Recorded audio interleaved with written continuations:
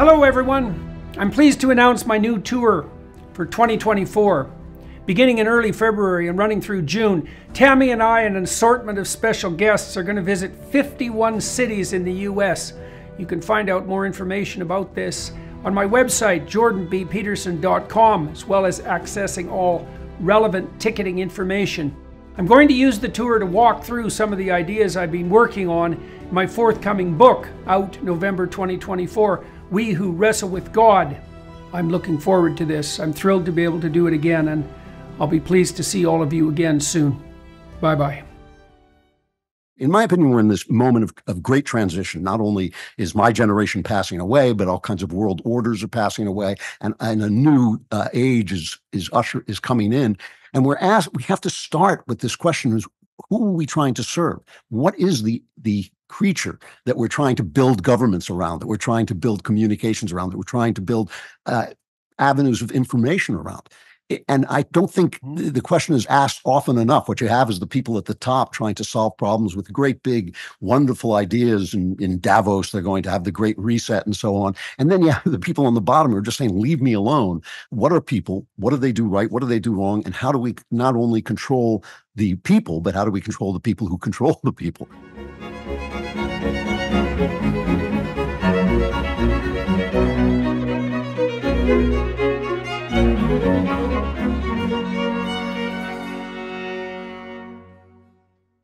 Hello, everybody. Today I talked to Mr. Andrew Klavan, who's a compatriot of mine at the Daily Wire, but also much more than that, an author of some 30 books he started publishing when he was 25. He's a thriller writer, a writer of crime fiction, very much influenced by Dostoevsky, Crime and Punishment, influenced by Raymond Chandler, who's probably the greatest noir um, novelist of all time, uh, also the instigator of a number of great movies like The Big Sleep. We talked a lot about the noir genre and about the the motif of the of the flawed masculine hero, which I suppose is every man that's ever lived, although they vary substantially on the hero front and less substantially on the flawed front. Anyways, we had a chance to delve into all of that in some depth, into the reality of murder and mayhem, into the difficult balance between the monstrousness that characters a good man and his necessary guidance by consciousness by conscience, by product, by the necessity for product, productivity and generosity, the complex decision making that a woman has to undergo to evaluate a man who has to be a monster, let's say, to even be good, but also a tameable monster so that he's not too terrible in his monstrosity. We've talked a fair bit about religious issues, delving into Mr. Klavan's journey to a Christian faith that paralleled his investigation into the literary domain. So, all that and more in the upcoming conversation. So, Mr. Klavan, thank you very much for agreeing to sit down and talk to me today. This will really be the longest extended period of time I think that we've been able to talk to each other directly, eh? Uh, well, you've come on my show a couple of times and we've discussed things, but usually it's pretty brief. Yeah, yeah. Well, good. This will give us a chance to get into things more deeply. I thought we would concentrate primarily, I think, today on writing, although we'll branch out from that wherever we happen to go. So maybe, first of all, tell me how many how many books have you written so far? I'm afraid there's over 30 of them. Uh, I've been at it a long time. How long have you been at it? I published my first novel when I think I was about 25, and I'm now like 110. So it's right, right, right. You know, it's been been a long, long haul. Yeah. So the first one when you were 25, and there's been 30. Are those? Is that all fiction?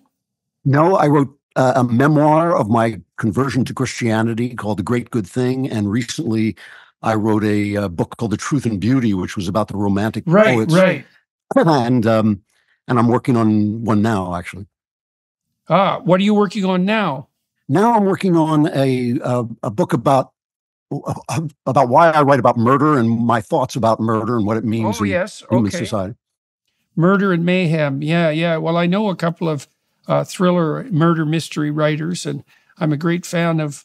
Well, I like the genre actually, especially the noir genre from the from the 1940s and thereabouts. Um, Raymond Chandler is something else, man. He's, I mean, he's, he's, a- the one who made me a mystery writer. He's the guy. is that right, eh? Oh, yeah. yes. What do you like about Chandler? Well, the moment I became a mystery writer was the moment in the big sleep is right at the opening when Philip Marlowe walks in and he sees a knight in shining armor on a stained glass window trying to rescue a woman who's tied to a tree. And Philip Marlowe says, if I lived here, I'd have to climb up there and help him because he's not making any progress. And Huh. that was the first time I saw a tough guy. I was very enamored with tough guys when I was a teenager. It was the first time I saw a tough guy who had a, a purpose. He was carrying within him Right, right. an right. ideal of chivalry that he wanted to bring into the corrupt world. And that was actually Chandler's idea. Right. And I just thought that's that's who I want to be personally, and that's what I want to write about. Yeah, right. Well, there's a St. George image lurking at the bottom of that. And, you know, that ties in for me. So, the Google boys a while back, the engineers, they did an analysis of women's use of pornography, men's too. Well, so males use visual pornography, as everyone and their dog knows, but women prefer literary pornography, and it's very tightly themed. It, like it's very archetypally themed. So the typical protagonist is surgeon, werewolf, vi- vampire, pirate, or billionaire, or some combination, some interesting combination of all of those attributes.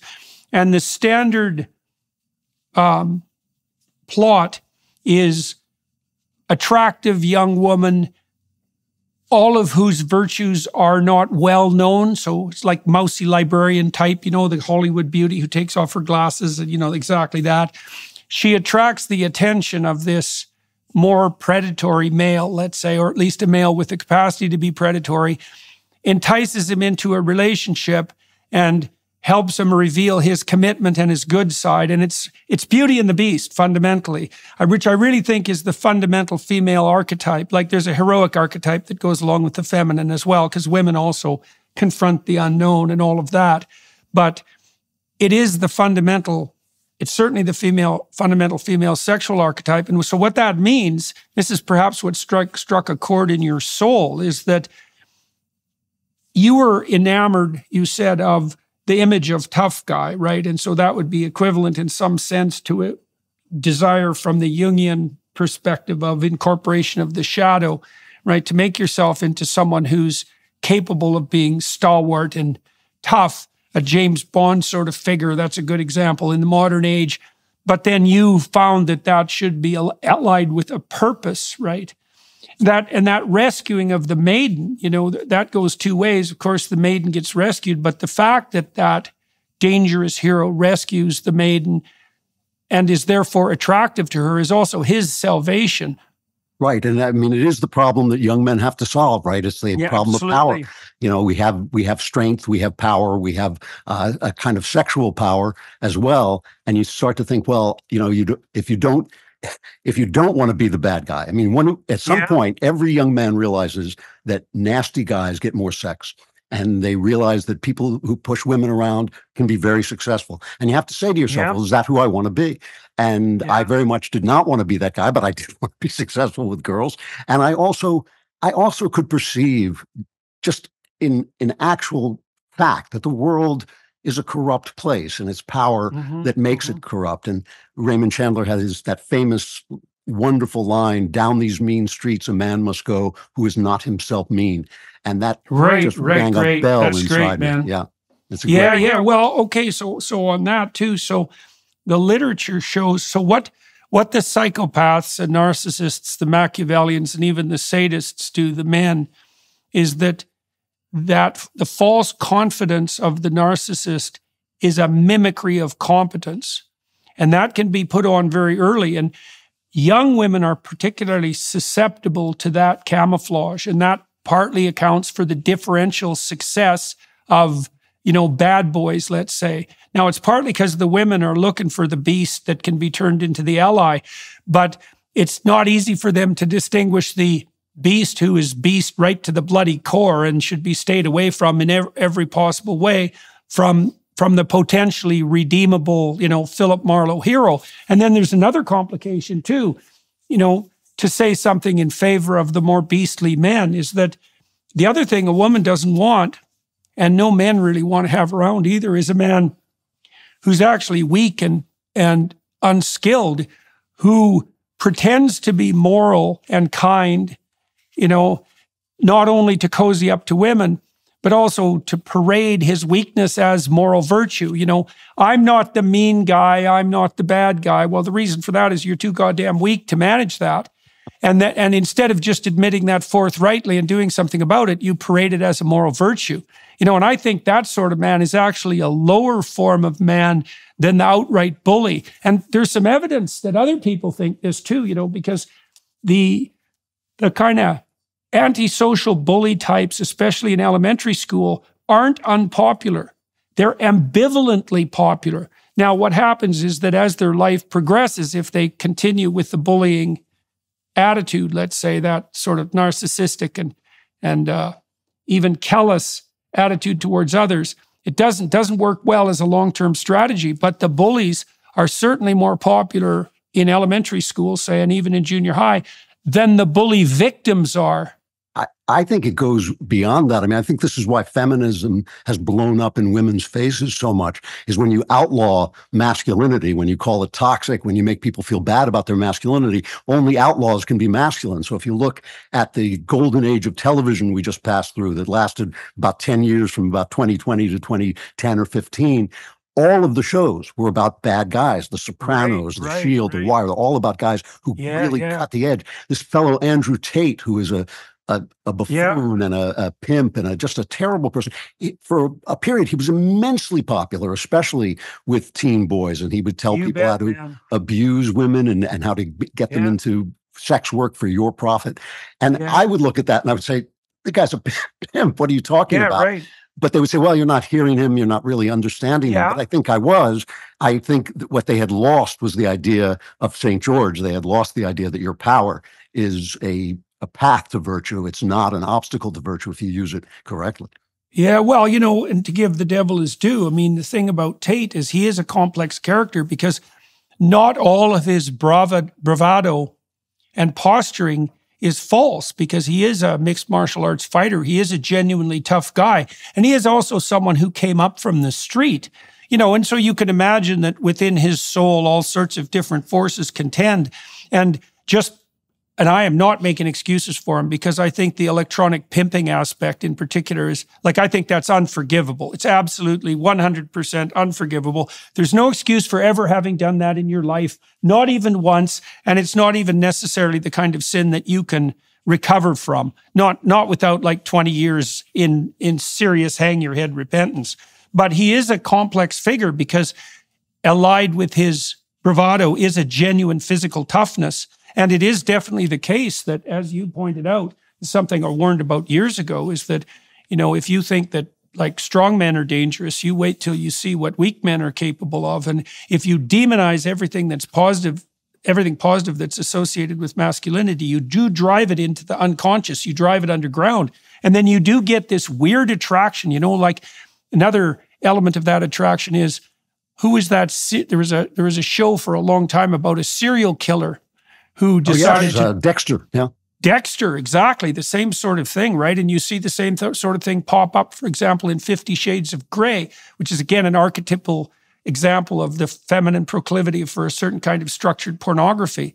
So, yeah, okay. So, so when you started writing, so interesting that that image, that stained glass image of Saint George, Right, because St. George fights the dragon, which is the real evil. He's like Prince Philip in Sleeping Beauty. You remember when the evil queen turns into the dragon?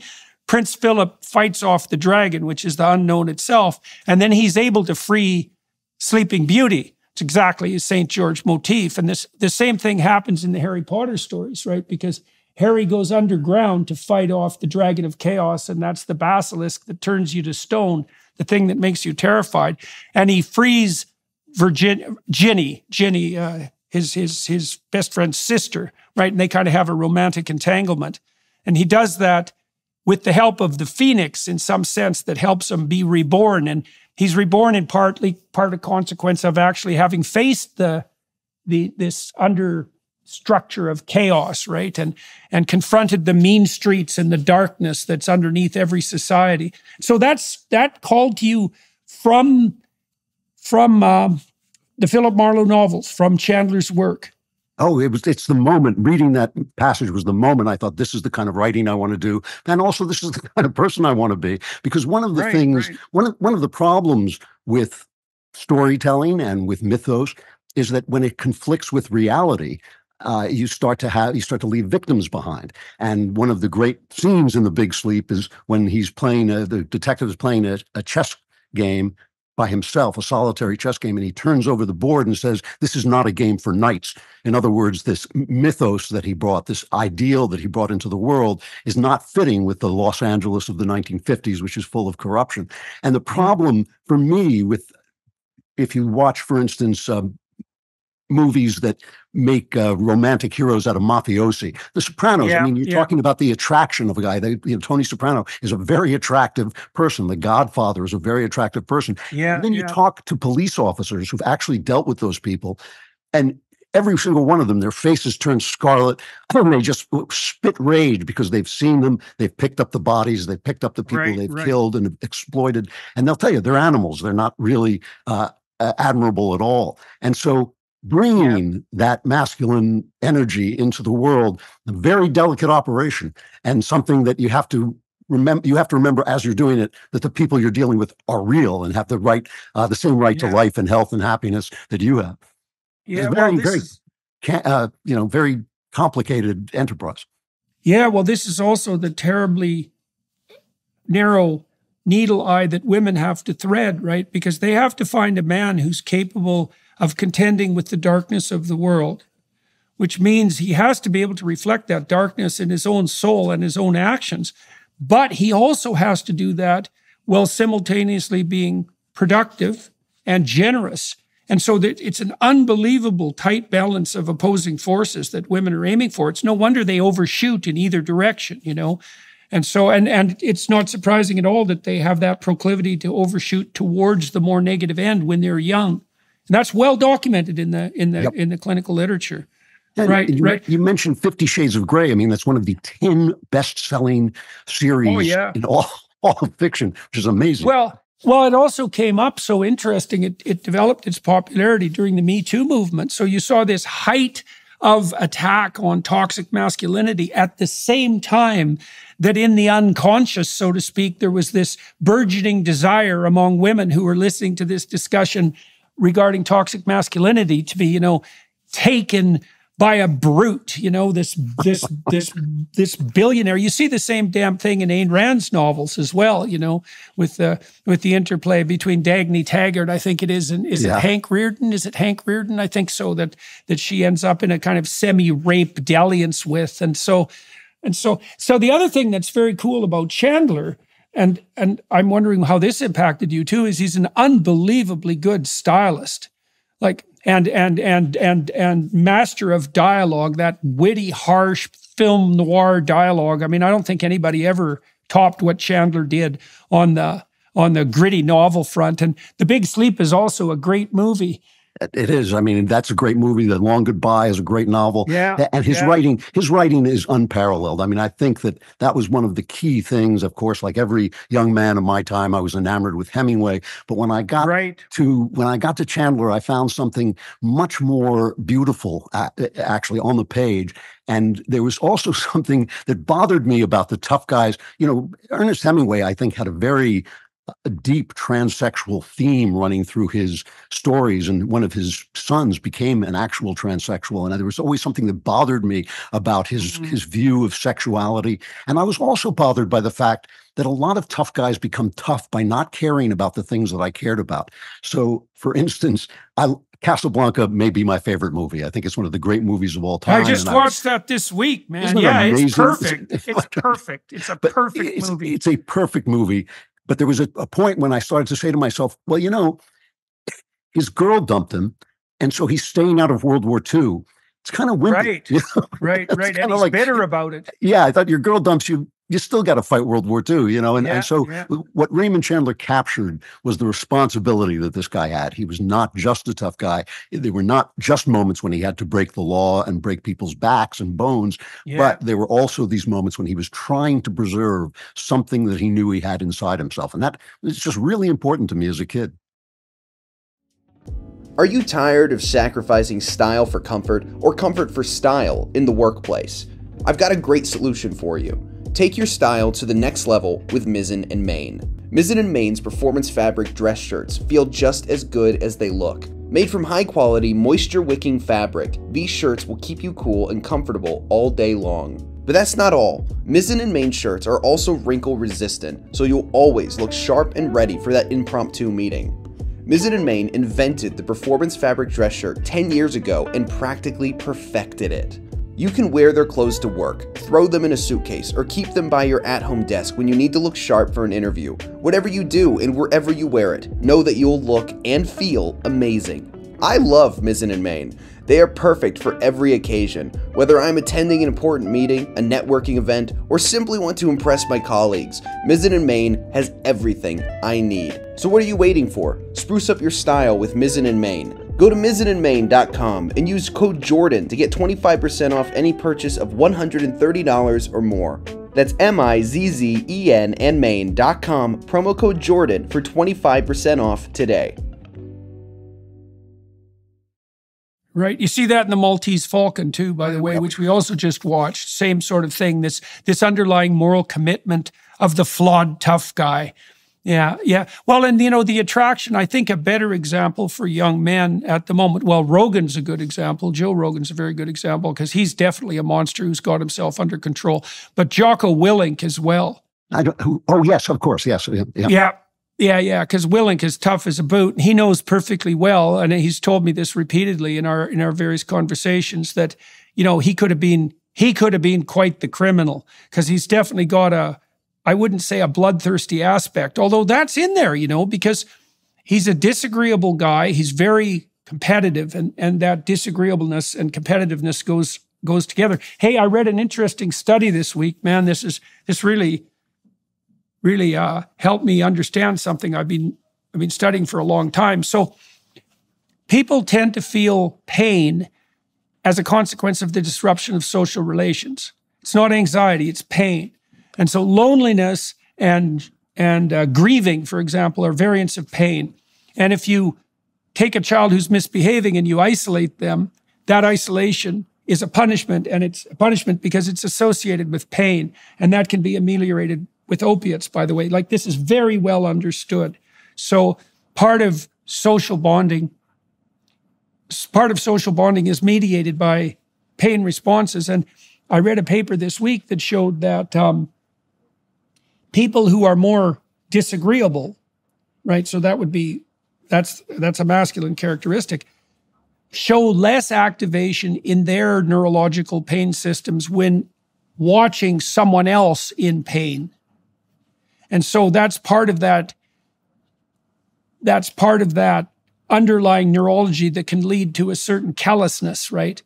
And a certain lack of care in in reference to other people. And it's all, but then you can also understand it as a necessity for things like, well, hunting would be an example, military service, police, like anytime you're dealing with something where the threat of physical combat is real, an excess of empathic responding is likely to be an impediment. Now, the price you pay for that is that if you do have the wiring that makes you less directly sympathetic in the face of other people's suffering, let's say, you can you can easily tilt into the antisocial, right? So this is this is another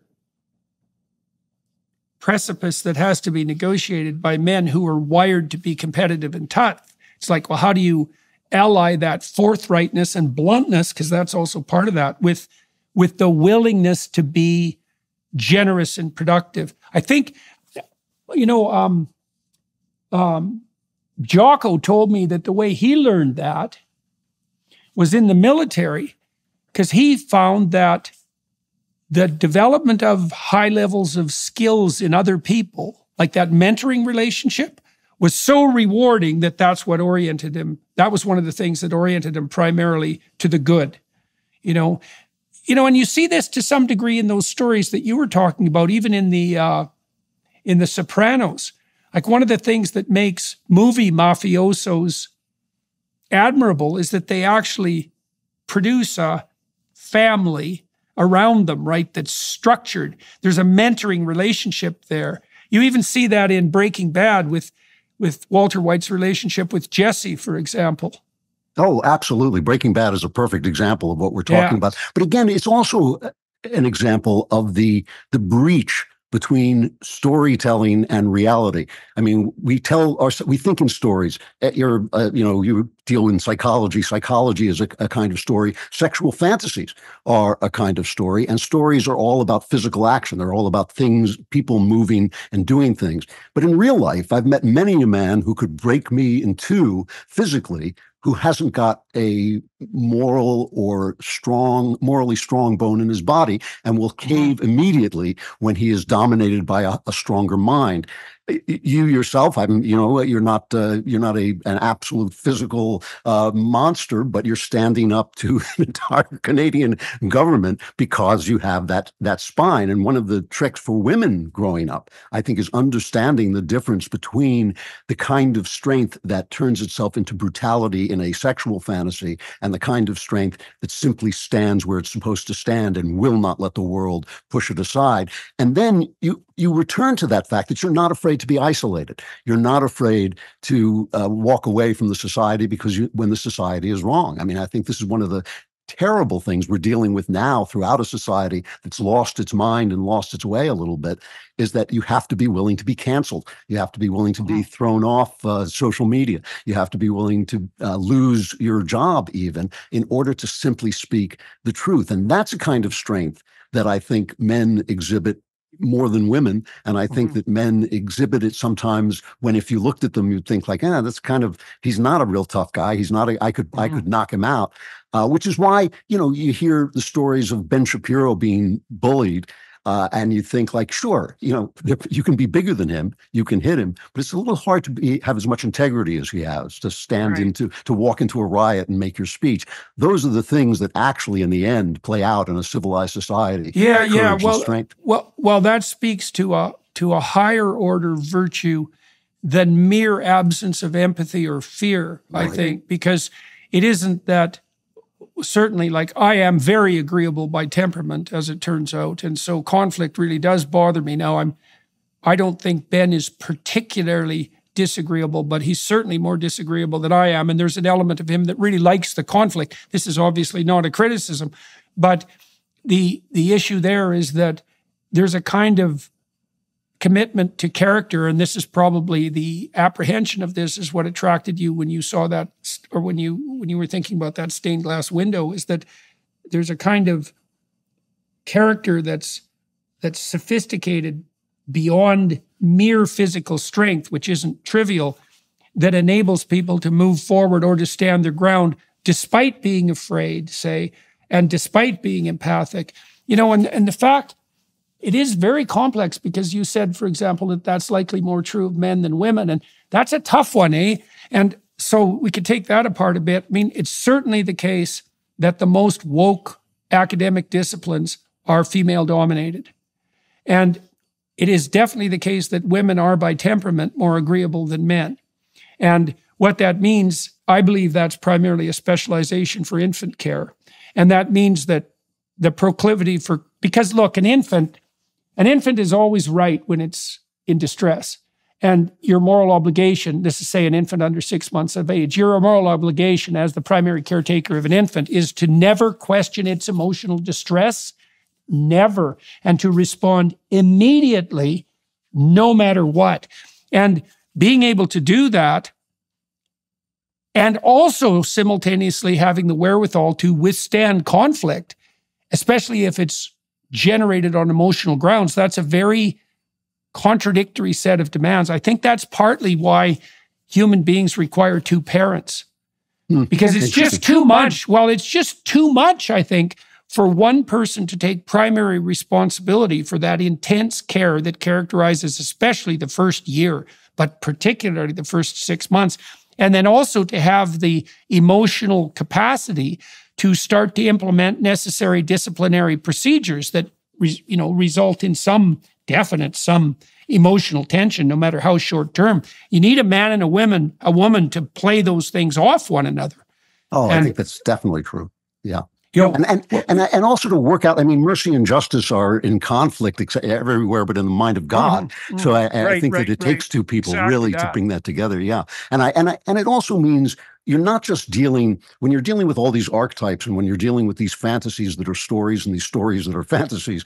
You're you have to remember the moral web, and the moral web is a complex thing. You know, you the, the those things are borderlines that only we can see. They're not railings in the road. They're things that you have to be able to say, I am going to stay within this uh, borderline and I'm going to be able to define that. And that's one of the reasons, for instance, that men go out into the world to support their the mothers at home. And the mothers don't Right. always know what the men have to do to get that done. And the men have to make those just those very difficult decisions. Am I going to, you know, it, it, take this guff from some guy because I need the yeah. money? Am I going to do a job that I shouldn't do? All of those things come into play, and that's you know again the complexity is intense, and it- and it definitely takes two people at least, and it definitely takes two different Mhm, at, at of least people, that's right. At yeah, least. to find their way. Yeah. Yeah, you talked about the interplay of mercy and justice. You know, I think that's a good definition of conscience. The conscience is the voice that signifies the interplay between mercy and justice. And you see this in characters like Philip Marlowe, right? Because they're obviously meting out justice constantly. And that's part of the attractiveness of their character, especially when it's devoted towards, you know, defending the the, the femme fatale from some evil persecutor. But they're always leavening that with mercy, and it is as a consequence of following the dictates of their conscience. And certainly, Marlowe is a very conscience-ridden creature. Um, yes, yes. So, is. as, as is and- Sam Spade, for that matter, yeah, and Yeah. and even James Bond for on the more comic book end of things. You know, you you were talking too about characters like Breaking Bad, the guy in Breaking Bad, Walter White, and in The Sopranos. You know, and it, it it's also been in recent years where we had the rise of the Marvel universe, and Tony Stark is another good example of that sort of thing because you know that guy is so hyper masculine that he's damn near fascist. And it was so interesting to see, first of all, that Iron Man was the Marvel character who rose to preeminence in the movie fictional universe, because that certainly wasn't the case in the comic book world. He was kind of a minor superhero. But Tony Stark had those same attributes of, you know, this sort of hyper masculine, almost narciss this hyper, almost narcissistic masculine element. And it was also very interesting that he ended up allied in some profound way with the Hulk, right? That they played off each other, and that Stark was the person who was also able to control and deal with and channel the Hulk in the most effective possible manner. It was Yeah, very interesting to watch all that unfold, you know, while the whole culture was spiraling off in the hyper feminine direction. well, I think I think this the superhero is a really interesting genre. It has always bothered me because it seems to be storytelling without sex and death in it, which means it's storytelling in Mhm, some sense right. without the, the human uh, without human nature in it. And what disturbs me about that is I see this across all genres. One of the things, one of my absolute uh, hobby horses is women beating men up in stories. Oh, yeah, yeah, and yeah, every movie, there's a woman who's going to punch a guy and he goes rolling ass over tea kettle out the door, which is not what happens when a woman punches a man. Her hand breaks and then he beats the crap out of her. And that's Right, a right. dangerous thing. But it's also saying something about our attitude to our humanity, our turning away from humanity as possibly hyperhumanity through technology approaches. I mean, I think when I was young, you watched stories that were largely about the past. You watched war movies and cowboy movies, and the science fiction that we had was very rare, but it was also kind of a projection of the past into the future. So even when you dealt with monsters, they were very human. They were Dracula, the werewolf, and all that. Whereas now we're watching movies and telling stories that seem to look forward into an inhuman future. And what, Mhm. what bothers me about that is without uh, because I think it's actually true, is that without sex and death or beyond sex and death, there's still going to be a moral web and we're still going to have to negotiate it. And yet the immediate punishments for immorality, the fleshly results of immorality are not going to exist anymore. Just like with, for instance, birth control, you can you can treat your body like a pincushion and not get pregnant and maybe and solve your syphilis problem. And yet the moral web is still in place. You will destroy yourself by Well, simply well, treating yourself well, with that- disrespect. Well, let's walk down. Yes, well, absolutely. Let's walk down that road a little bit. I mean, I think at a deep level, part of what you see, part of the reason that you see the sorts of things that you're describing, which is women occupying the more masculine heroic role taken to the extreme in say these superhero movies where women are regularly beating the hell out of men which as you said virtually never happens in real life um, and this sort of ties into some of the things that the Daily Wire has been doing, for example, with their documentary questioning what is a woman.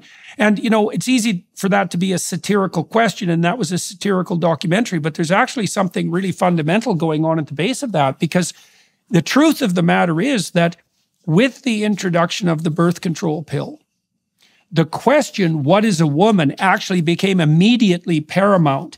And now that's been unfolding for multiple generations because the the obvious distinction, the most obvious distinction between men and women prior to the pill was the ease with which one of them could get pregnant. And it was impossible for one of them and very easy for the other. And that turned out to be a walloping difference and perhaps the cardinal difference. I mean, the biological definition of female is literally that sex that um, gives up most in the process of sexual reproduction, that devotes the most resources. And you see that even in the relationship between the sperm and the egg. I think the egg has 10 million times the resources of a single sperm in terms of what it's donating to the to the gamete. It's something like that. And so, and that's echoed at every level of the dichotomy between masculine and feminine. So, what is a woman? A woman is the human sex that devotes most to the problems of reproduction. So that's a good definition. Now you up you upend that with the pill, right? Because all of a sudden that difference is ameliorated to some substantial degree. Now your point is that doesn't change the underlying moral landscape. Well, it changes it somewhat, right? Because the immediate consequences for um, for fornication, let's say, to use an archaic term, for sleeping around, the immediate consequences are clearly ameliorated. And that leaves us to wonder well, you know, the whole 1960s was an experiment in some ways. It's like, all right, sex has now become consequence free, or so we thought. Well, then why isn't, why not have an endless orgiastic party? And that's actually a real question because the reason to do it is clear and the reasons not to do it have become murky. Well, AIDS put the paid to that demented dream quite rapidly. But but then there were more subtle things, right? And one of the subtle things is, well, okay, why isn't a woman? Why can't a woman just replace a man now entirely? And how do we discover the limits to that? You know, now I see some limits emerging, and you know, I mean, we now know, for example, that half of 30 year old women now don't have a child. Half of them. It's more than half, actually. Half of them will never have a child. And 90% of them will regret that. And so, even if we push, even if we erase in our 20s the difference between men and women, as the difference is erased in childhood, because boys and girls are quite similar compared to, say, teenage boys and teenage girls. Even if we equilibrate men and women in their 20s, that certainly doesn't mean we equilibrate them in their 30s. Well, you know, and I, I think it's an open question whether if you remove the immediate physical consequences of a bad act, it ceases to be a bad act. I think that this is the key question that you're facing right now. You know, I, in uh, in the Truth and Beauty, I write a chapter on Frankenstein in which I make the argument that Frankenstein the Dr. Frankenstein who creates this monster has not violated, as Mary Shelley did, has not violated God's prerogative. He's violated a woman's prerogative. He's created a being, which we all do. We all, anyone who has a child has created a living mm. being, but he creates it without a mother. And if you read Frankenstein in that way, you begin to see that science has, science and fantasy have been beginning, have been trying to solve the problem of women and the fact that they create a consequence, a deep consequence to our chief physical pleasure. They've been trying to solve that since science uh, existed and really since imagination existed. I mean, prostitution in some ways is a way of trying to solve that problem as well. And I believe that the attacks on men now are not really attacks on men. What I think they are is trying to clear men out of the way so that women can cease being women and can actually become men as well. Because what women do is they raise this question Are we purely physical beings, if you can remove the physical consequences of a bad act, does it cease to be bad? Is there something within us? And I obviously I'm a Christian and I believe there is. It, is there something within us that is damaged by immoral action? And well, okay. The evidence seems to be that there is actually. Well, well, actually, the evidence of on uh, with regard to that is clear. So, so let let me lay it out. This the, the, the clinical evidence is clear. Okay, so let's go down deep into the biological for a minute to sort that out. Okay, so there's two fundamental strategies of reproduction among sexually reproducing creatures. There's the zero parental investment strategy, and there's the profound parental investment strategy on the two ends. So fish and mosquitoes, by and large, are on the zero investment end. What they invest is sperm and egg, and that's pretty much it. And so, and what the way those organisms manage that is they produce tens of thousands or hundreds of thousands of copies of themselves and leave them to their own devices. And almost all of them perish. But almost isn't the same as all. And if you produce 100,000 offspring and only one survives, you're successful in, in replication. Okay, on exactly the other end of the spectrum are human beings. Because our offspring have the longest dependency period period by a long margin, even compared to our immediate primate cousins. And that's partly a consequence of our rapid or comparatively massive cortical expansion and the need for extensive socialization. We're a high investment species. Okay, so now let's look within the realm of human attitudes towards reproduction. There's a distribution. There are those who engage like mosquitoes in short term mating strategies. And there are those who engage preferentially in long term pair bonded mating strategies. Okay, now we could ask ourselves what are the personality characteristics that go along with that? Well, the clinical literature and the personality literature are clear. Here are the predictors of short term mating strategy preference early onset criminality, familial history of antisocial behavior, psychopathy, narcissism, Machiavellianism, and sadism. Right. And so, and it's worse than that. Not only do those predict the proclivity and preference for short term mating, one night stands, let's say, sex only for pleasure in the absence of a relationship, it's also the case that practicing that produces those personality characteristics. And, and you could see why, because if the goal is that you're going to subordinate all things, including the possibility of any relationship whatsoever, to mere sexual pleasure, you're now using the other person as an object for pleasure, but you're also using yourself. You're also training yourself in a form of psychopathy. And so I don't even think this is debatable. I think the evidence for this is like I've known for 35 years that one of the best predictors of criminal proclivity among teenagers is early early and frequent sexual experience. Huh. That's been known forever, forever. Yeah. No one debates it in the in the criminology domain and the same is exactly true in personality with regards to these dark, you know, sadism, psychopathy, Machiavellianism and narcissism.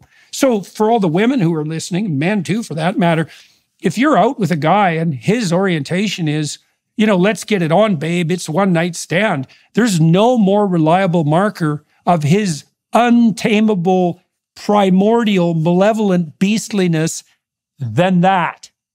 Right. And there's not a debate about that. And it brings us back to where we started in a way. I mean, this is the conundrum we're faced with in this scientific moment is can you solve the problems of being a human being without solving human beings, without getting rid of human beings right, themselves, right. because all of the things that we admire are very basic, and yet in a civilized society have to be maintained in a civilized way. And so th- this is to me the essential question we're we're looking at. You know, it, it, we talk about what is a woman, which is a, an excellent question. But what is a human being, and what exactly? We can't even Mm-hmm. begin, in in my opinion. In my opinion, we're in this moment of, of great transition. Not only is my generation passing away, but all kinds of world orders are passing away, and and a new uh, age is is usher is coming in.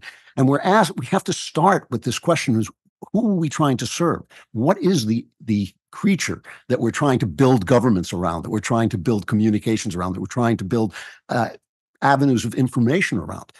And I don't think the question is asked often enough. What you have is the people at the top trying to solve problems with great, big, wonderful ideas. And in Davos, they're going to have the great reset and so on. And then you have the people on the bottom who are just saying, "Leave me alone uh, and let me do let me do what I want to do." And obviously, somewhere between those people is the idea that that kind of the American founders started started out with is what are people? What do they do right? What do they do wrong? And how do we not only control the people, but how do we control the people who control the people? And I think we're back to those questions again. And and I fear that these not the scientific worldview, but the scientistic worldview blinds us to certain things that that people are and that may be ineffable. I think everything has a has a physical analog, but it doesn't mean that that's its cause. And you see this uh, in in for instance when we drug people for depression and they feel happier are they happier?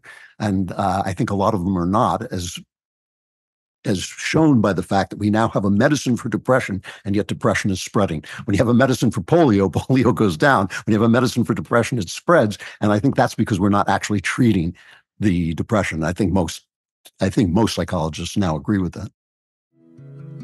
Did you know a baby's heart begins to beat at just three weeks?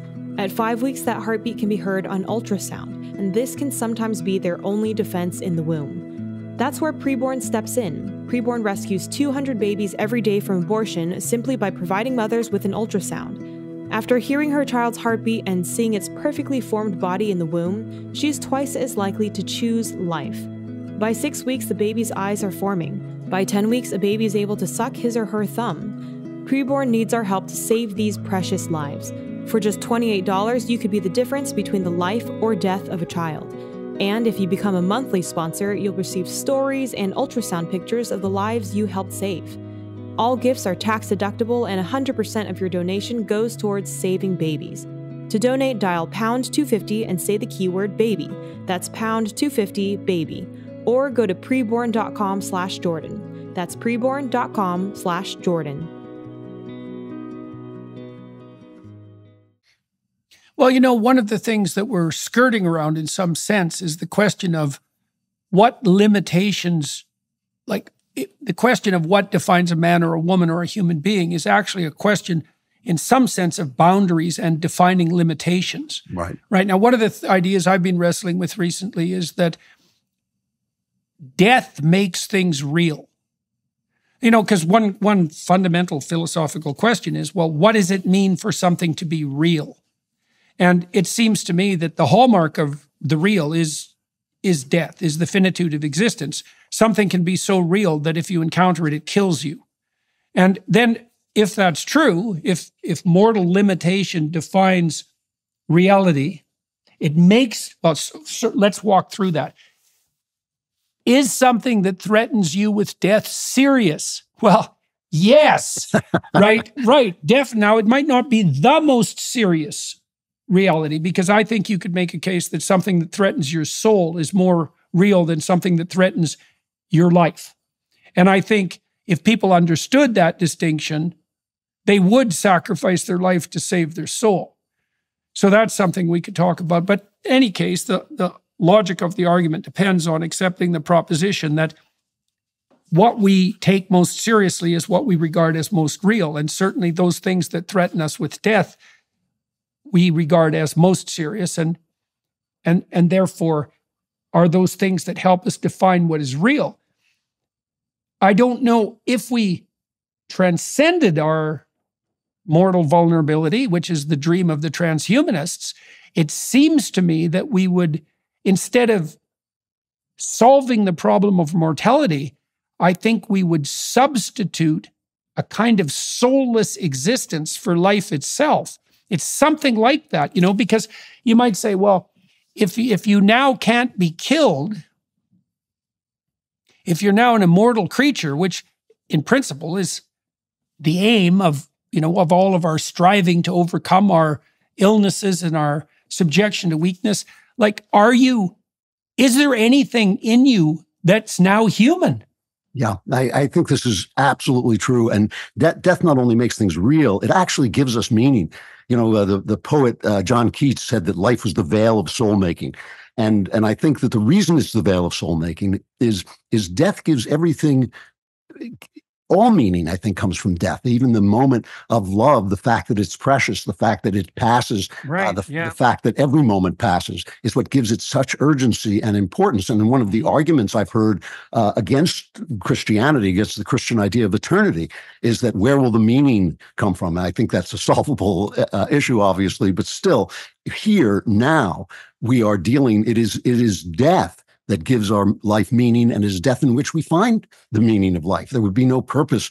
You know, I believe that if we um, if we had no death, if we actually eradicated that, we'd get something like the end of the time machine, where those people are sitting around, you know, doing absolutely nothing and just kind of floating downstream. Right. And it looks like paradise, but in fact, it's hell. And I think that that is this is the this is the thing that disturbs me so much about these superhero movies is really when Mhm. you take away the traits that make us human death and sex eros and thanatos you've taken away the meaning of being human as well and you leave us with with virtually nothing and some of these transhumanists also become death worshippers because what they talk about is it's it's, it'll be great when human beings are gone. It's Right, time for yes, these these definitely. meat sacks to get out of here and and leave everything to AI. Uh, there are people who believe that AI is is more important than we are. And for me, it's always the question of like, why? What what what consciousness does AI have? What is it? What is precious about Mhm. AI? Mhm. We're the ones who are precious precisely because we die, precisely because this moment and and this in, internal life that I lead and that you have to assume I lead because you lead one too. That's where all of the meaning exists, Right. and the and the Yeah, fact well- of your life is so urgent and sacred.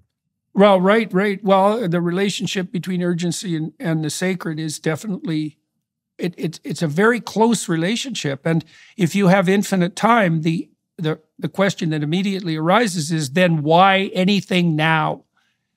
Right. And I, I think that's actually in some ways you might say even that that's one of the curses of plenitude and wealth, even especially if it's unearned. It's like, well, how much urgency does there have to be to drive you forward in a meaningful fashion? You can you can think about this in terms, for example, of the effects of pornography. You know, we know that young people are much less likely to couple than they were. This is particularly pronounced in places like Japan and South Korea, where I think it's about one third of, of the young people there under 30 are virginal. And one of the questions you might ask yourself is well, how much is the fractious but necessary long term relationship making between men and women driven by, by what? By sexual urgency and, and, and scarcity, right? And you see, you see the same thing if you're reasonably well off financially, the same conundrum emerges with regards to your children, which is, well, how do you provide them with optimal deprivation, given that you could provide everything for them? In which case you become something like the, you know, the infinite mother that destroys their souls by providing them with so much care that there's absolutely no reason for them to ever get up and do anything. That's that's what I think this whole moment in history is about. I mean, we do seem to be on the verge of solving so many problems, and yet you solve the problem. The, the solution is is in some ways the problem, and the idea of choice and the vastness of our choices and the lessening of the consequences of our choices actually threatens to strip us of the human being for whom those choices are Right, made. right, and so exactly, it, it- exactly. yeah, and I and I think that's why the the actual you know we have to return to those actual Aristotelian questions of who we are, what we are. It's it's a weird thing to be talking about in this moment when it seems like Mhm. we're going to travel into space, we're going to travel into inner space, we can clone people, we can make people live forever. Uh, But to me, it's the urgent question, and it's why the it's why the ancients matter more than ever uh, Mhm. in in this hyper modern uh, moment. It, it really is. We really are reaching a branch in the road. I think everybody can feel it coming, and it's it's dispiriting to hear our leaders talking in these old-fashioned terms about what they're going to do and how they're going to solve our problems for us, without really taking into account who we are and and their the responsibility of leaders to our happiness and to make our happiness possible and to make it possible for us to find our happiness, which we can only do on our own. I, I, this is this is something uh, I think that makes it so important that we look upon the least of us with compassion. Right. You know, this is why you look upon the least of us with compassion because they're us. because right, in, the right, en- in the end, if we can't figure that out, we can't figure ourselves out.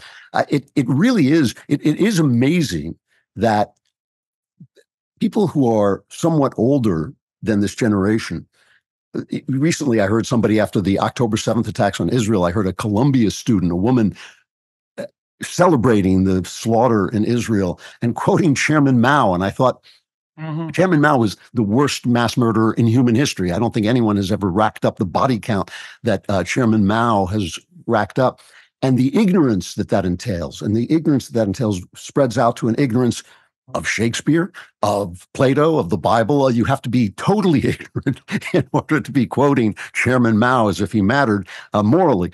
And so I, I think that we, we've come to this moment when futurism makes it seem as if all of the wisdom that was piled up behind us is meaningless. What did they know? They didn't mm-hmm. even know whether the sun goes around the earth or, or vice versa.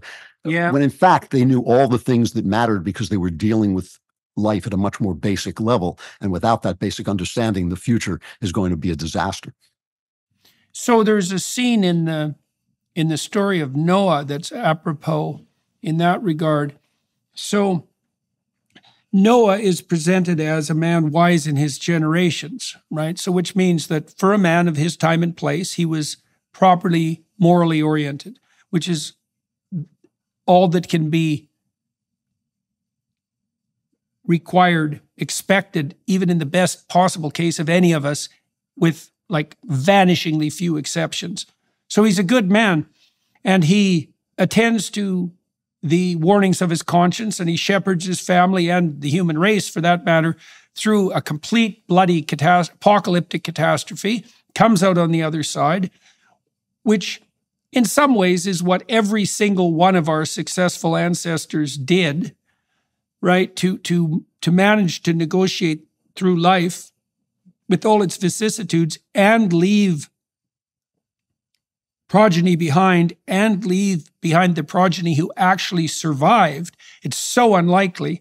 So all of our ancestors are Noah to some degree. Now, after he washes up on shore and the flood recedes, he plants a vineyard and proceeds to get rip roaring drunk on the on the consequences, right? Once it's all brewed up. And he's lying in his tent, nakedness fully exposed, and his son Ham comes along and has a pretty good time poking fun at the old man, right? And then he decides to get his brothers in on the joke and he invites them to come and have a gander. And instead of acting in a manner that's derisive toward their father, they back into the tent and they cover him up with a blanket. And so, and then, but this is where the story gets serious because the tradition that surrounds that story is quite clear. The descendants of Ham are slaves. Right. And so, what that means, as far as I'm concerned, and I think this is dead right, and it's relevant to what you were saying, is that you adopt a pose of moral superiority, derisive moral superiority to the past at your immense peril. Because if you're foolish enough to presume that, for example, in your stunning ignorance and moral superiority, that Chairman Mao is a model, the probability that you're going to end up as a slave is 100%. You're already a slave to the ideology. You know, it's only by I, I have to tell you a, a, wonderful story from my Hollywood days because they made the the Noah story into a movie with Russell Crowe, a big epic movie, and they completely changed God's motive. Being Hollywood, they completely changed God's motive for destroying the world from sinfulness to being not environmental enough, so that they weren't being oh, green yeah. enough. Oh, yeah. So, yeah. so that figures. But but according to the producers, what the evangelicals complained about was that they showed Noah getting drunk. And the poor Hollywood producers were left explaining to the religious Christians that no, that was actually scriptural. That was actually in the Bible. So piety of any kind is actually a way of blinding ourselves to what human beings Right. are uh, in, in both their decency and their wickedness. And I, I actually think that this, I I believe, you know, there's always been, especially in the once the age of science begins, there's always been this idea that you can find a single governing motivation for human Yeah, behavior. yeah. So you have Freud with Power, Eros and yeah, and yeah, power and alienation yeah, and all yeah, this. yeah, yeah, But, but I think one motivation that that we completely forget about is the motivation to appear virtuous to oneself and others.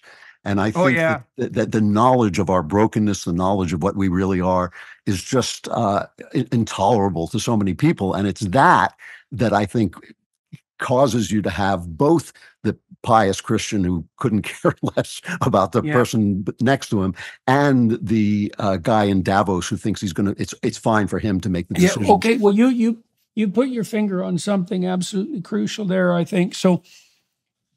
One of the things I've been exploring, really in depth, especially in the last month, is the intersection between a biblical injunction and a gospel injunction. So the biblical injunction is do not use the Lord's name in vain. Now, people think that means don't swear, and that isn't what it means. Right. It isn't what it means. It might mean that in some peripheral sense because it, it is a warning against the careless use of God's name. But what it really means is do not claim moral virtue, especially of the highest sort, for acts that are clearly self serving. Now, there's no more self serving act than one that's narcissistic. And a nar- by definition, because narcissism is the core of self serving. Okay, so a narcissistic act is one that elevates my moral virtue falsely. Okay, so now then imagine the worst extent of that sin is for me to claim that my narcissistic motivations are actually done in the name of what's highest. And that would be God in the case of the totalitarian religious zealot. And it would be compassion in the case of the modern left leaning atheist who, you know, has basically made the goddess of mercy his or her unconscious God. Okay, so now I can claim false moral virtue and I can elevate my social status and my self regard without commensurate effort, especially, and I can circumvent all the problems you just described, which is actually contending with the depth of my genuine misalignment and sin. Okay, now that's echoed in the Gospels. Like Christ goes after the Pharisees in particular, particular as hypocrites. And so they're the religious types that you just described, the ones that parade their moral virtue. They're the same as the bloody modern protesters too. But the but the the false butter won't melt in their mouth evangelical types and the zealots in the Islamic world, they're all of the same type. They take this unearned moral virtue, they're acolytes of God, and they use that. Christ accuses their praying in the marketplace, which is no different than protesting, to elevate their social status so that they have good reputation among men, which he also warns about, and so that they can occupy the highest seats in the synagogue. And so there's this terrible sin, and it's opposition to that sin that gets Christ crucified, right? Because it's the Pharisees he really makes enemies of. And he says to them, he says, they worship the dogma of men as if it's the commandments of God, and that they are the same people that would have killed the prophets whose words they purport to worship.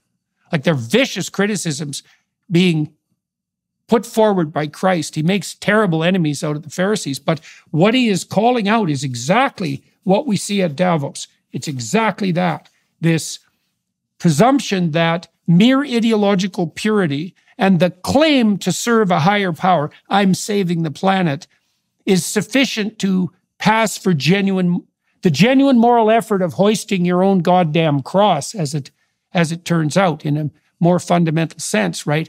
It's a substitute for true moral effort. That's it's it's true, and it brings us back to to the idea about sometimes solving the problem is the problem. One of the wonderful things about the Enlightenment is it gave us all these systems that marshal human flaws for the good of all. So you have capitalism, which is you know a wonderful economic system, and you have de- uh, democratic republics, which elevate people to power ostensibly on merit and some kind of mm-hmm, connection to the mm-hmm. people, but they don't eliminate the fact that the love of money is the root of all evil and power corrupts. So what you now have is you what you now have is people who no longer have to confront the parasitical nature of their wealth because they can say, "Oh well, I created jobs, I created wealth, I spread the wealth." But they're still a corrupted in soul because they fall in love with money, which is a form of idolatry, and it does mm-hmm, eat people mm-hmm, away. Mm-hmm, and you have people who who are in power whether through wealth or through election, who can say, well, I'm not, it's not like Henry V thinking all this is a ceremony. I, I actually have been elevated by the people or I, by election, or I created Amazon.com or I did something like that. And yet that power is still corrupting. So as we solve the problems, we still haven't eliminated the fact that the human being mm-hmm. is a mm-hmm. broken system. It's a contradictory system, a system that actually is aiming, what it was at Oscar Wilde, I thought, I think, who said we're all standing in the gutter, but some of us are looking at the stars. And I think that that mm. idea that we forget that we're standing in the gutter, because now we can actually say, you know, Tolstoy, you know, found God and he realized he thought, oh my God, I'm a parasite. I'm living on the backs of the serfs. But now you don't have to say that anymore. And people this is why I despise Ayn Rand, by the way. This is why I just can't, aside from the fact that she's a terrible writer, I just can't stand this elevation of power and wealth to a state of virtue. It's simply not. It is power and wealth, and sometimes it's deserved, and sometimes it's used correctly by people who have virtue. But it's not the virtue mm-hmm. itself, and it can be incredibly destructive to the to the human soul. Yeah, well, I, the reason that I've stayed as firmly as I've been able to in the psychological domain is because I've I don't believe that systemic alteration strikes to the core of the problem. I've always I've been concerned, I would say my fundamental intellectual interest, it's not only intellectual, existential interest is the issue of evil. And and I'm not really that interested in systemic evil, partly because I'm much more interested in actual individual motivation. Because I wanted to know, see, I wanted to know how I could be an Auschwitz prison guard but more than that, I wanted to know how I could be an Auschwitz prison guard and enjoy it. And if you don't think that you are that person, you don't know much about people. Now, that doesn't mean that there are some people, there are some people who would be tilted more in the direction of the temptations and pleasures that being an Auschwitz guard would provide, right? There's some people who are more temperamentally protected against that particular sinful route. You know, it'd be very hard for someone who is hyper compassionate to make that particular error. They'd much be much more likely to turn into a devouring mother, for example, and infantilize everyone. But I was still very curious about how you erect barriers in your own soul to the blandishments of those who would provide for you an avenue to that kind of sadistic misuse of power. And you might say, I'd never do that. And I'd say, no, the opportunity for you to do that just hasn't presented itself. And that might be because of your own inability, not your moral virtue. You've just never managed to elevate yourself to a place where you have power over anyone else. And that's not a virtue. That's that weak man that we were talking about at the beginning of the discussion. And that's also what, and this can segue us into the next part of this conversation, maybe. That's actually also what got me interested in in theological ideas, you know, because I became convinced that the fundamental issues that beset us are psychological, but that the fundamental psychological issues are indistinguishable from the theological. And so, yes, I, because I, I think the well, I think the battle against evil, and I do believe in the reality of evil, the battle against evil is fundamentally fought in the soul. And so now you have had a long journey towards a relative, relatively elaborate faith, and it's it's not the faith that you were born into. Right. And so, do you want to walk us through that a bit? And and and I'd like to know, like, what were the steps? How did this come about? I'd also like to know how it dovetailed with your fiction writing in particular, because I think of the theological as like metafiction. You know, Yeah, it created actual problems in how to write natural fiction. I, for a while, I wandered into fantasy writing because it was the only way I could express the new level of reality that I was seeing. But ultimately, I found that very unsatisfying because I feel that God is God of the real world. I feel he's, you know, it's, he's not a fantasy God. He's not, and he's not God of Candyland. He's God of this world. Since I was baptized at the age of 49, it's kind of a long story, so I don't want to go into That's it. for- okay. yeah. that's okay. We'll lay it out because I'm very curious about. Uh, and I think it'd be helpful for the listeners. Well, so Uh, when I when I was in in college, the first wave of the uh, postmodernists were coming on, and we were starting to hear about relativism and the disjunction of language with meaning, and all of these things. And uh, I guess I was 19 years old, and I read Crime and Punishment. And w- when was this? What year was that? uh, see, if 19, I would it would have been 73. 73. Okay, so now I'm situated in time. You read Crime and Punishment. Oh, that'll do the trick. Yeah, exactly. And you know, here's the scene of a man who and you know, Dostoevsky was writing before Nietzsche, but he actually he, Dostoevsky, I believe, was an actual prophet, and he actually prophesied what Nietzsche was going to Yeah, say. He saw he saw those ideas coming. And so you have this scene in a novel where a man takes an axe, not just to the pawnbroker who is bedeviling him, but to his retarded, her retarded sister, and kills in, in just a scene of incredible uh, innocence and, and evil. Kills a woman who has, has can't think straight and just looking at him with this blank look. And I thought, you Yeah, know, yeah.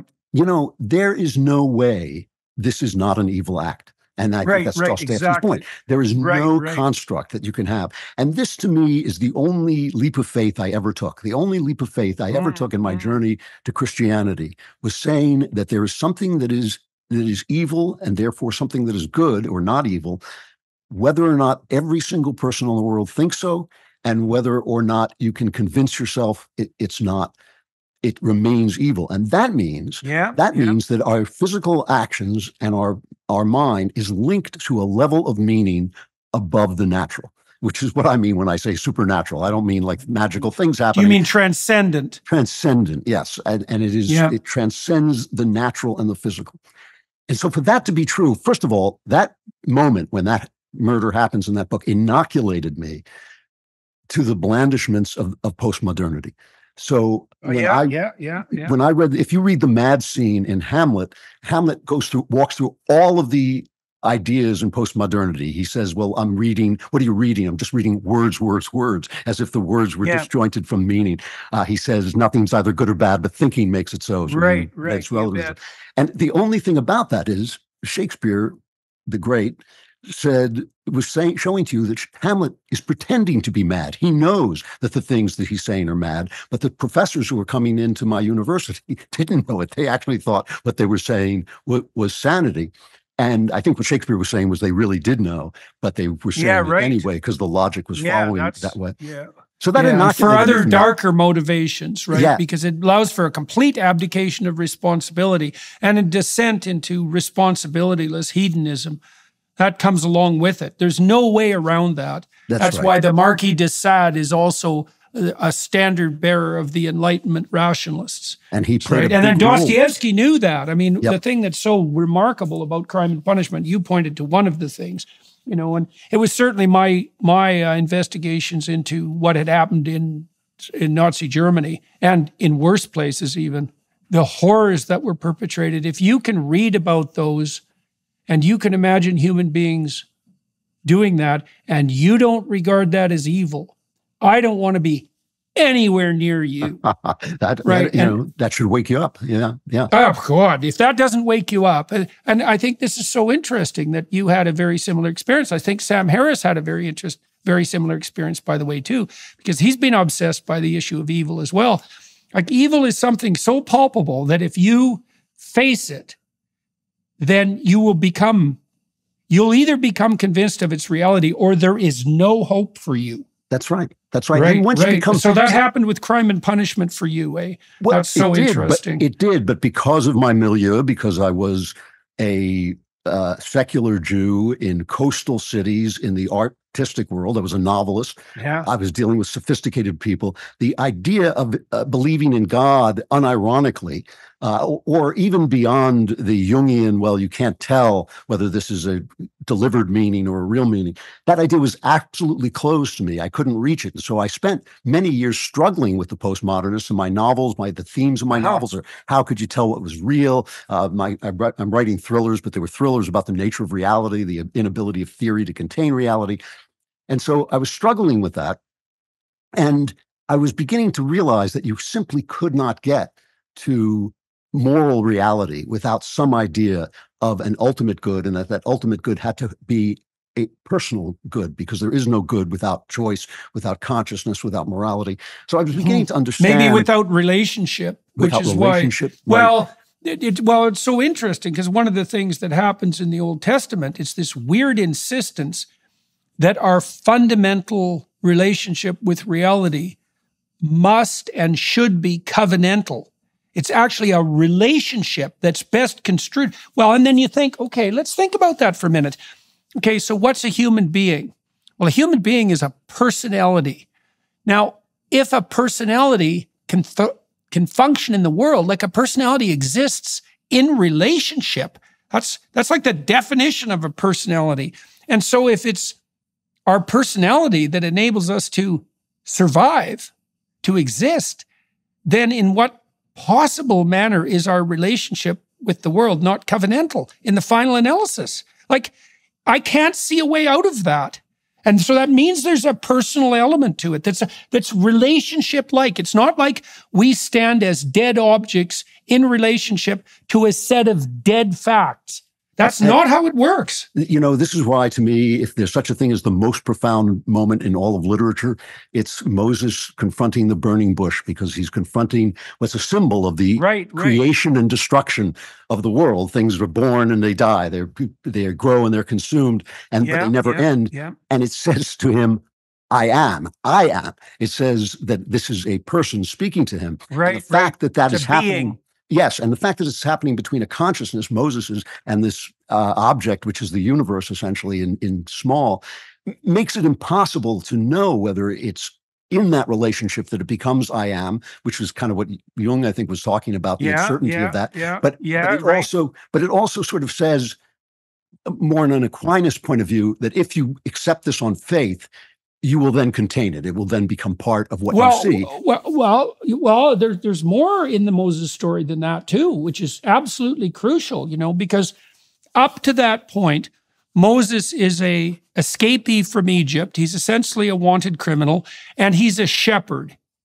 Now he's doing all right as a shepherd, and he's made a good relationship with his father-in-law, and he's got a couple of wives. Like he's got a normal life. But then he has that encounter with the ground of being, right? That beckons to him. And he pursues it deeply. And then the voice of being itself speaks to him. But then the next thing happens. That's when God charges him with the responsibility and the ability to stand up against tyranny and to oppose slavery, right? So now all of a sudden, because Moses has made that connection with being itself, he now becomes the person who can genuinely lead. And then he says, God, he says to God, it's like, well, uh, you're charging me with this and this is revealed to me, but I don't even know how to speak. And God says, yeah, that's your problem, buddy. And and that's so interesting because it well, because it, it's so interesting because so Moses is now delved deep into something, some interest that beckoned to him, and he's confronted the fundamental reality of being itself, and that's transformed him. And now he's left with the aftermath of that, which is he has to figure out how, as the flawed person he is, unable even really to speak because Moses has some impediment in his ability to communicate, he still is charged with the moral obligation, like your superhero characters or like Philip Marlowe, like your heroes, to stand up against tyranny and to oppose slavery. And you know, it's it's it's an open question for all of us, especially if we're concerned with authoritarianism or licentious hedonism for that matter. It's like, what is it that transforms us into the sort of person who has the moral fortitude to stand up against that. And it is something like the establishment of a relationship with the ground of being itself. If you have that burning inside you, nothing is more frightening than losing that relationship. Nothing. Yep. Yeah. And, and it also gives you the idea that because you can communicate with it, you can become like unto it. You can move into that image of God within you that is your your essential personality that we all know we've fallen short of. I- right, I- right, right. What happened? What happened to me, and this is kind of interesting because it goes back to uh, the Marquis de Sade, uh, is is I came to a point where the logic of God became uh, in, unavoidable. But Oh, at yeah. almost the same moment, um, and maybe for uh, similar reasons, though I think they were much more deeply personal and connected to my past, I, I had a crack up. I, I went nuts. And I I found a psychiatrist who is recognized as as one of the greats, and and what I, I now consider to be a literal miracle. He cured me. He, I went from being a suicidal, delusional, hypochondriacal, paralyzed human being to being one of the more joyful people I know. I just, and it was insane. I mean, this transformation was entire and insane. I always when joke- was this? When, This when was- was this? I was I was about 28 when I cracked, and by the time I was 30, I was on the way out. I was on the on the way back, uh, and by the time I was 32, I was fine. Do- do- so what what happened? What were the what were the precedents of the descent? Like Well, and, let- and what would the? Um, I'm sorry. Say that. yeah, again. what what caused the descent What caused Oh, the breakup? it- well, what, I what caused your breakup? I, I mean, I was in. I had a, a a child. My wife and I had a child. I was absolutely, as I am to this day, madly in love with my wife, and that was one of the things that kept me alive. Uh, and and we had a child, and I couldn't make a living doing what I wanted to do. I knew I had a genuine talent for what I wanted to do, and I was absolutely a complete failure. I'd published a book; it had sold no copies. I had nowhere to go. I was just getting my writing, Mm. which was is based on the tough guy writers it was crystal clear, pellucidly clear, had become impenetrable. Even I didn't know what I was saying. So I was uh, unable to make a living. I was unable to proceed in my profession. And I just, I just broke, and I had all kinds of psychological problems in getting to the place where I could act in the world. And here was the interesting thing. I mean, the guy who cured me was a, I would call him a neo-Freudian, uh, and Freud was an atheist. And so I began to feel that up until then, the prop, the question of God, I was kind of, you know, I was agnostic. How can you possibly know? And how can you, uh, you know, why would you have faith? You, why can't you just go in, Mm. in uncertainty? The burden of uncertainty had a certain nobility to me. Mhm, mhm. But at this point, I thought, well, maybe I should become an atheist. And so I started to read atheist philosophers. And one of them was the Marquis de Sade. And he Hmm. was the only atheist philosopher to this day, maybe Foucault. He was the only atheist philosopher who made sense to me. Everybody else, I thought, Oh, you yeah. know, you cannot maintain a moral stance and be an a- you can be a moral person and be an atheist because you're basically what Nietzsche said you're living in the shadow of a dead god yes, yes, But, yes, yeah, absolutely. but you can't make you can't, Can't be be moral and internally make sense consistent. that Yeah, right. yeah. Well, well, Raskolnikov had figured that out in crime, or Dostoevsky Exactly. had figured that out. You know, he and and he. That's one of the things that's so absolutely powerful about that novel is that Dostoevsky was such a genius, right? Because he set Raskolnikov up with every metaphysical reason to commit the crime, every personal reason to commit the crime, right? Every opportunity to commit the crime, and then he commits the crime and he gets away with it. Like it's perfect. And then all and then everything collapses around him because it turns out that he does violate this intrinsic moral order. There is no such thing as the perfect crime, even though he could have got away with it. He ends up killing someone innocent, which is an inevitable consequence of starting to wander down that road, right? Dostoevsky had all of that. He's the perfect counter enlightenment thinker because he does he does exactly as you're suggesting. He does exactly what the Marquis de Sade does. He says, "Oh, I see. So there's no final arbiter.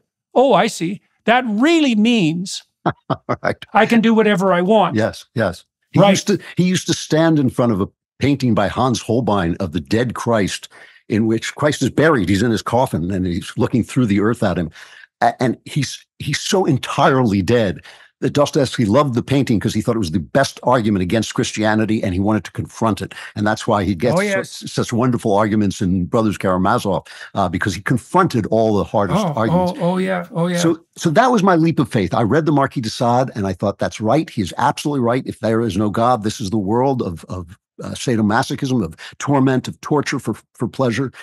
That looks like hell to me, and I am going to go home by another way. I'm turning around, and I'm just going. That's that was my leap of faith. My leap of faith was why this is- why do you think you bad. reject it why did you reject it because look look what's happening now you know we have this weird marriage of licentiousness and power mad striving and they go together by necessity because there's no licentiousness without an accompanying tyranny because someone has to mop up the responsibility but then you might say but you might say like Raskolnikov did you might say like the pleasure worshippers do it's like you know, fuck it. Nothing matters. Why shouldn't I just pursue my whim? Why should I make that my identity? Because all these identity crises that we're seeing now are nothing but the elevation of whim to the highest possible place, right? Why aren't I identical with my momentary sexual proclivity, fluid though it may be? You know, like that's a real question. Yep, right. And what do you put in? Okay, so why did you decide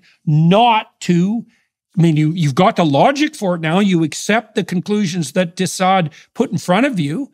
But you re, but you rejected that, like you rejected Raskolnikov's triumph to some degree. Why do you think you rejected it? You know, my only answer to this is what I consider to be Jesus's hardest saying. He says, "To them who have, it will be given, and to them who have not, even what they have will be taken away." Yeah. Something was inside me that looked at that, and and you know, I thought, you know, it's pornography. It's uh, his, he wrote his Yeah. philosophy in sadomasochistic pornography. Some of it was kind of a turn on. I thought it was kind of exciting, uh, and yet I, it horrified me. It made me think, no, you know, I'm just it, it. It was just that thing. There was something inside me that rejected that, and I don't know. You know, C.S. Lewis says nobody knows any story but his own, and I don't know if everybody has that thing inside him. I, I really don't.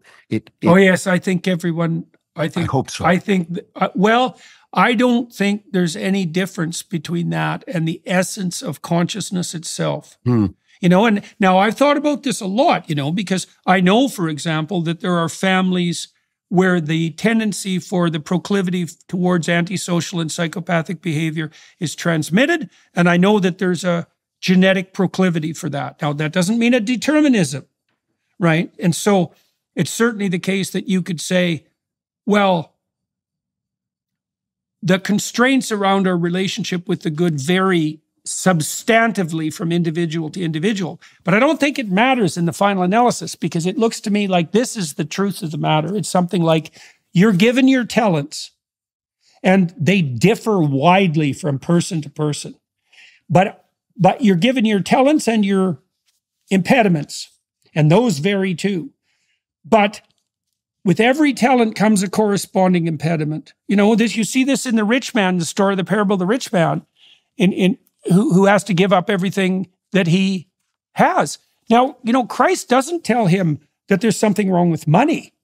What he says, he does an analysis. He, the, the guy, the guy says, "I'm miserable," and Christ says, "Well, you know, are you doing the right thing? Do you honor your parents? Do you abide by the commandments? Are you living a good life?" And the guy says, "Yeah, like I'm. I seem to be a good guy. I'm like I'm checking off those boxes. So I got the dogma thing going down. I'm adhering to it. And Christ says, and I think in some sorrow, it's like, well, you're screwed. Like you have to radically revalue your entire life. And that probably means you have to give up everything that you've accrued because it's not working for you. And the disciples themselves, they say in the aftermath of that, they say, oh, well, if that's the price of salvation, no one will pay it. So it's not a it's not a point to the fact that the money itself is the money itself in and of itself is the problem. And the parable of the unjust steward also makes that crystal clear because Christ says directly that often the people who are just pursuing money are wiser and more moral than those who claim dogmatic moral virtue, right? So that's crystal clear. Yeah, But it yeah. is, but it is a question. I mean, you know, think of the the blessings I did have in my life, uh, uh, chief among them, uh, a wife I loved so dearly and who loved me back, and uh, uh-huh. a, a, profession I I loved. I mean, I loved to write and I loved beauty. Uh, I still uh, I'm still a kind of beauty monger. I love culture and the things that are that work and and sing, and so I had so many things to turn away from that, that caused me to turn away mm. from ugliness and cruelty that m- maybe it simply it was life enough life experience to do that. I was not I, I, was a young man in many ways but i was not chronologically young. I was 30 already. And uh, and i think it just made me turn back. Well you had well that also says that you had higher order forms of even pleasure let's say beckoning to you you know that affiliation with beauty that's a good counterposition to the most aimless form of idiot sadistic hedonism because it's a higher form of pleasure. You know it's like jocko willink discovering the pleasure of mentorship as opposed to the pleasure of domination. You know i mean there's something to be said for being able to pound someone out. You know it beats the hell out of being weak and useless. yeah, getting pounded maybe, out yeah well, well, absolutely, absolutely, and and then you also said you also, and you pointed to this a couple of times in our conversation. You also talked about the love that you still had had and still have for your wife, and so what role did that capacity for love and that experience of love, especially within the bounds of a committed relationship, what role did that have in orienting you and guiding you like through that period of misery, but even later than that? And why do you think that's still alive for you? Well, it has it had a a double role. I mean, one is of course love is civilizing, and it just is uh, a, a a wonderful pleasure, as you say, it's a higher pleasure. But the other thing about my wife was that I picked her up hitchhiking and I wasn't even driving a car. She was a very, beautiful woman and she was hitchhiking. And I thought, I've got to go get my car. And I ran up to get my car and drove around the block at 50 miles an hour so I could get to her before anybody else. She sat down in my car. That's a very creepy beginning. Yeah, I know, terrible. In those days, it wasn't as creepy in those days. No, no, that's that's true. No, no, absolutely, absolutely, it definitely wasn't. But she sat down in the car and the experience was exactly like if you've ever done a jigsaw puzzle and you've been looking for a piece for 20 minutes without finding it, and then you find it and it goes in. Mm. It's this very quiet sense of, ah, you know. And right, the fact right. that I recognize that, and now it's uh, many years later, at least 10 years later, and I'm it, I'm still absolutely romantically head over heels with her, meant to me that I was capable of perceiving a spiritual reality honestly. So right, right, right. So this is one of the problems I've always had with the postmodernists. They talk about the meaninglessness of language, but I understand what they're saying. And so obviously, uh, except with Derrida, who had the integrity to write absolute gibberish, they actually are disproving their own point. And they talk about basically the fact that we can't know anything, but we can. We can know if I go north, I get to Canada. If I go south, I get to Mexico. Right, and right. And, we can't and, know anything purely by words. Yeah, that's right. That's right. And and so I, I really did have some kind of trust in myself. I simply could not break through my milieu, which was so default, at least agnostic and really atheistic. Right, right, right, right. The the funny thing is that after uh, the other thing about this too, by the way, is being a bit of a tough guy. I thought that in my misery, when I cracked up, to embrace God, even though it was logical, was a crutch. Right. So how would right, I know right, whether right. I had embraced him re- in reality or just because I wanted to get out of this incredible pain I was in? And so I couldn't do it. And okay. when years later I was now a, a very happy person, my career took off, everything started to go right. I still had that logic. And something else was mm. was true as well, which is that I had been a, a, a, real Freudian. I had grown up in that real core yeah, of the yeah. Freudian world yeah. where all the art stank because everybody's trying to prove your mother was to blame for everything and all that. And I, I didn't come to feel that what Freud said was utter nonsense. I came mm-hmm. t- to feel that the details of what he said were utter nonsense, that the structure of the relationship between a therapist or a mentor and a client or, you know, a, a son or a friend or whatever, uh, I thought he, he got a lot of that quite right. Yeah. The idea yeah. of a transference and all this, which made me feel that all of the insights I had had in therapy that I thought were salvific had had not been, and what had been salvific was the loving relationship I had had with this older man who had taken the place of a father who had not been very helpful. And Mm. it was it was actually the the love that had saved me. And I began to believe Right, that right. psychology. Well, that's largely- relationship again, eh?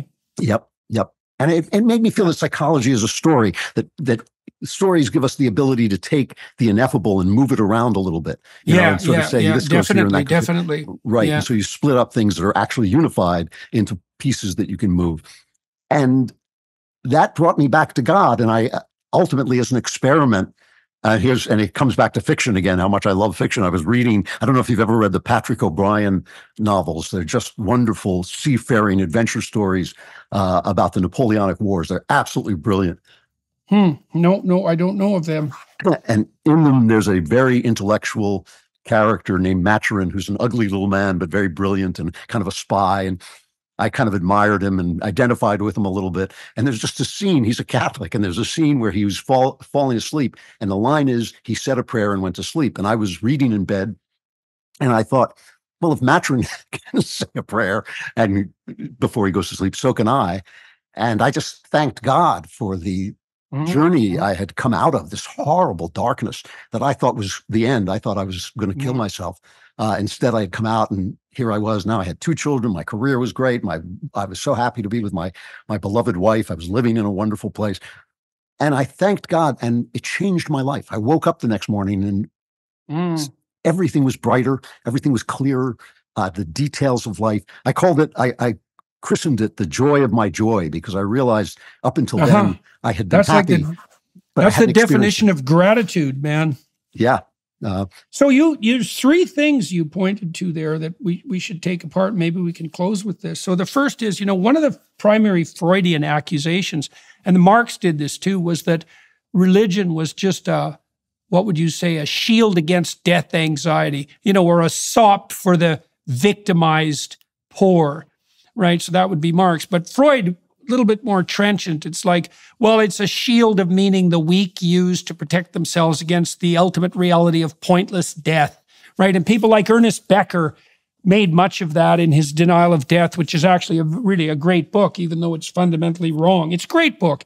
But, you know, there's something really not wise about that perspective. So, and here's like, here's three arguments against that from someone who really admires Freud, by the way. First of all, if that was the case, why bother with hell? Because hell, medieval people were as scared as hell of hell as modern people are of death. The evidence for that's clear. And you might say, well, hell was just a convenient place to put your enemies. It's like, no, no, that's not a good analysis. So if it's just a death anxiety shield, then, you know, why decorate it with this terrible moral obligation and the reality of hell?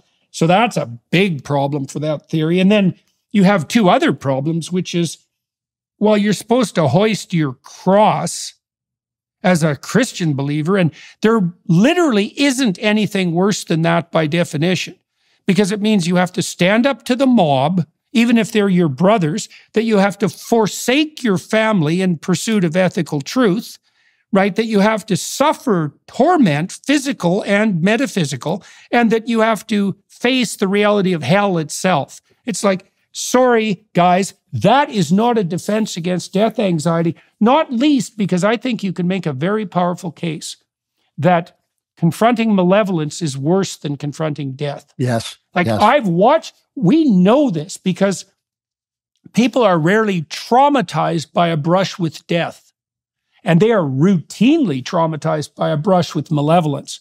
So even on those grounds, you can see that the reality of evil is more trenchant and salient than the reality of death. So that Freudian argument that it's just it's just not right. It's not he got that wrong. this is where where Freud indulges in quackery a little bit. He's he's interviewing, you know, 20 hysterical Victorian Viennese, and he decides that God is a projection of the Father, and he says it very definitively. Yeah. And you think like, Yeah. hey, you're welcome to your opinion. But it really, what you're talking about to me is like saying that you believe in bread to forestall the fear of hunger.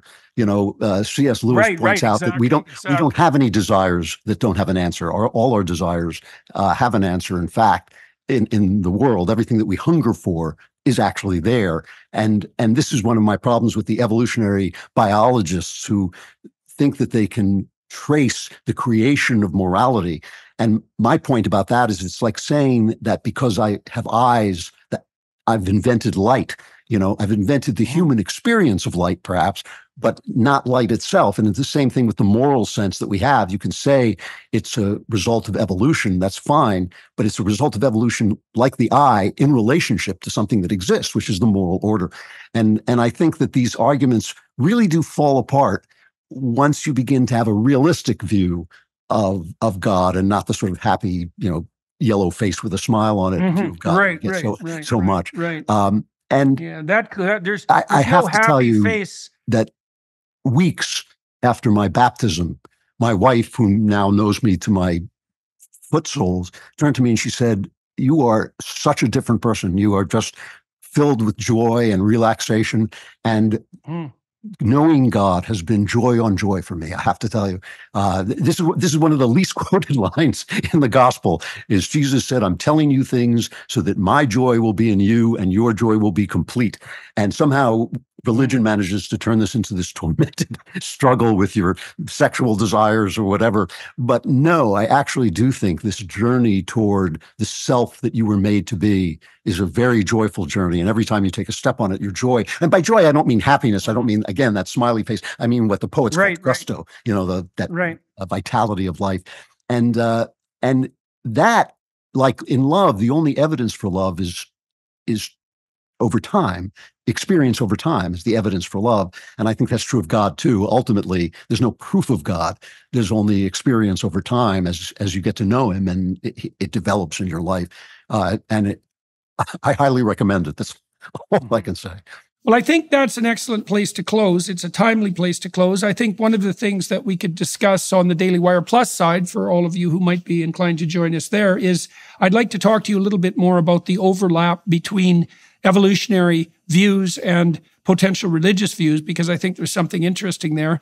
And I'd like to talk probably a little bit more about this idea of gratitude and joy and how those things are linked together. So if you're interested, everyone watching and listening, if you're interested in continuing this discussion, you could do that on the Daily Wire Plus side. We'll talk for another half an hour. In the meantime, thank you very much for sitting down and talking to me for 90 minutes. We got deep into many of the things that I was hoping we would cover today. And uh, it was a it was a pleasure getting to know you a bit better. And thank you to everyone who's watching and listening for your time and attention, and for the Daily Wire Plus folks who made this conversation possible. We'll see you in a bit, Andrew, and bye everybody else. Thanks very much,